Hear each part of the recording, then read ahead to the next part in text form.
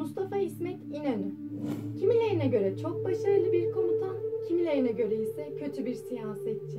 Herkese göre değişen bu kavramları bir kenara bırakıp İsmet İnönü'nün hayatına gelin beraber bakalım.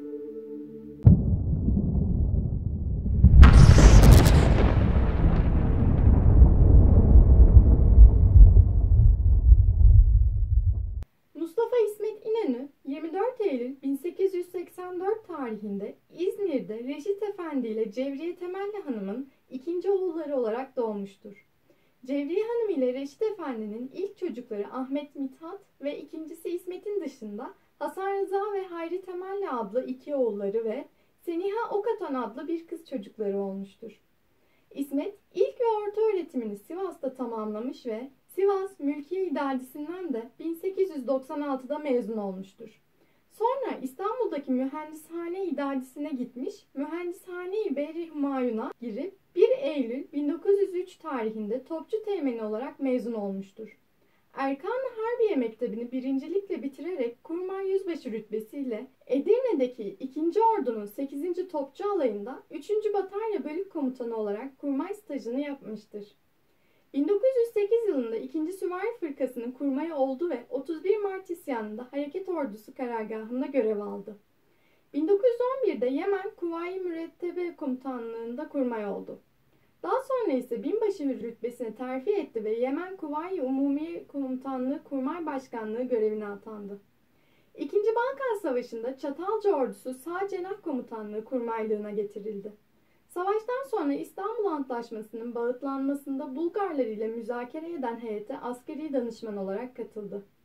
1914 yılında Harbiye Nazırlığı ve Erkan-ı Harbiye Umumiye Reisliğine atanan Enver Paşa'nın başlattığı ordunun yenileştirilmesi hareketinde etkin rol oynadı. Sonra bir cihan harbi patlak verdi ve Türk milletinin payına da kanlı mı kanlı bir savaş düştü. Bu kanlı Cihan Harbi sırasında İsmet Paşa Kafkas cephesinde kolordu komutanı olarak Mustafa Kemal Paşa ile çalıştı. Bu sırada Mustafa Kemal bu ordunun 16. Kolordu komutanlığına atandı. Bir süre sonra İstanbul'a geri çağrıldı ve Halep'te 7. ordunun oluşturulmasında görev aldı. Filistin cephesinde 20. Kolordu komutanlığına, daha sonra 3. Kolordu komutanlığına atandı. Bu sırada 7. Ordu'nun komutanlığını üstlenen Mustafa Kemal Paşa ile yeniden yakın ilişki içinde oldu. Ancak Megiddo Muharebesi sırasında yaralanınca İstanbul'a gönderildi. Zorlu geçen yıllar ve savaşlar bir cihan devletinin yıkılışına işaret ediyordu. Tarih tekrar ediyor, bir devlet yıkılırken bir yenisi kuruluyordu. Yeni Türk Devleti'nin tohumunu Mustafa Kemal atmak için yola çıkıyordu. Yanında ona inanan bir ekiple. Tabii inanan kelimesi belki başlarda sadece Mustafa Kemal'i kapsasa da daha sonraları koca bir millet yek vücut inanmıştı paşaya. Bu inananlar arasında daha sonraları ismini çok sık duyacağımız İsmet Paşa da olacaktı. İsmet İnönü 29 Aralık 1919 tarihinde Paris Barış Konferansı'na hazırlık için kurulan komisyonda askeri müşavir oldu. Bunun dışında yalnızca 8 gün için Askeri Şura Muamelat-ı Umumiye Müdürlüğü'ne bir arada jandarma ve polis örgütünün iyileştirilmesi için kurulan komisyona üye olarak atandı. Bütün bunlar genellikle birkaç günlük görevlerdi. İlk kez 8 Ocak 1920 tarihinde Ankara'ya gitti ve kısa bir süre Mustafa Kemal Paşa ile çalıştı.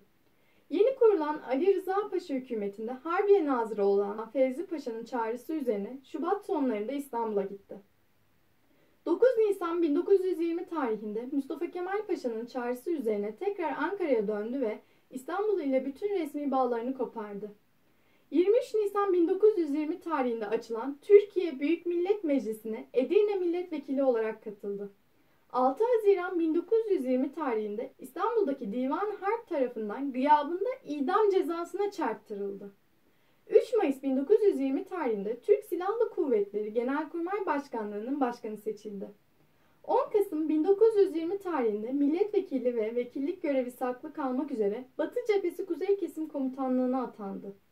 Çerkez'e tam ayaklanmasının ve iç isyanların bastırılmasında etkin rol oynadı. Batı cephesinin kuzey kısım komutanı olarak Yunan ilerlemesini durdurunca 5 senedir bulunduğu Miralay rütbesinden Mirliva rütbesine terfi etti ve paşa oldu. Daha sonra Batı Cephesi Komutanlığı'na atandı. Ancak 17 Temmuz 1921 tarihinde Kütahya Eskişehir muharebelerinde aldığı mağlubiyet üzerine TBMM tarafından Genelkurmay Başkanlığı görevinden azledildi. Yerine aynı zamanda Başvekil ve Milli Savunma Vekili de olan Fevzi Paşa getirildi. Sakarya Meydan Muharebesi sırasında TBMM tarafından Meclis Başkanı Mustafa Kemal Paşa'nın başkomutanlığa getirilmesi üzerine mahiyetinde Mirlivar rütbesiyle Batı Cephesi Komutanlığı görevinde bulundu. Büyük taarruzdan sonra başarılarından dolayı Ferik rütbesine terfi etti. İzmir'in geri alınmasından sonra Mustafa Kemal Paşa tarafından ateşkes görüşmelerinde bulunmak üzere görevlendirilerek Mudanya'ya gönderildi. İnönü Mudanya'da Türklerin uzun yıllardır savaşta kazanıp masada kaybettiği algısını yerle bir etti ve bu zorlu siyaset masasında birçok siyasi başarı elde etti. Kendisi de görüşmeyi şu şekilde anlatıyor. Muharebe neticesinde yenilen ve bizimle mütareke yapmak zorunda olan Yunanlılardı. Ama karşımıza çıkanlar, müzakerede bulunanlar müttefiklerdi. Konferansa ben başkanlık yapıyordum. Müttefikler adına müzakereyi General Harrington idare ediyordu. Mücadeleyi onunla yapıyordum. Çünkü en kabiliyetlisi o görünüyordu. General Harrington bana sık sık sulh yapmaktan başka bir şey düşünmediğini söylerdi ve beni inandırmaya çalışırdı. Çünkü biz İngilizlerin hiçbir sözüne ve hallerine inanmayan bir ruh haleti içine girdik. Konferans böyle bitti. Aynı zamanda İstanbul İşgal Komutanı olan General Harrington ise İsmet Paşa'yı şu şekilde tanımlıyor. Görünürde ufak tefek bir insandı. Bundan başka bir eksiklik mi yoksa bir meziyet mi bilinmez. Çok da ağır işitiyordu.